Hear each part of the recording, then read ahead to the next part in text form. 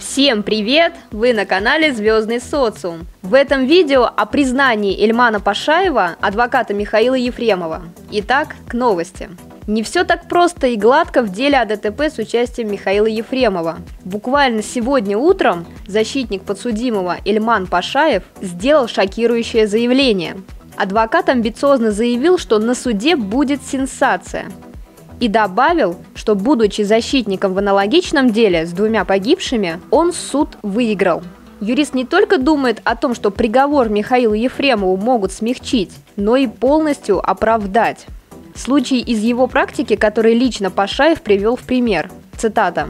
«До меня обвиняемый полгода сидел под стражей, и его сразу освободили.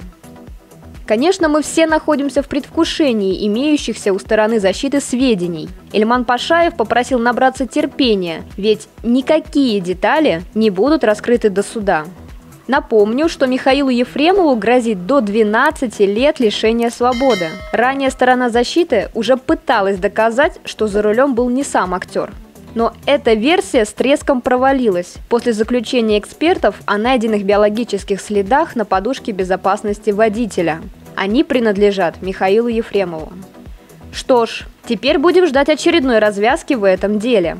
Ставьте палец вверх, оставляйте комментарии, подписывайтесь на канал и не забудьте нажать на колокольчик, чтобы не пропустить новые видео.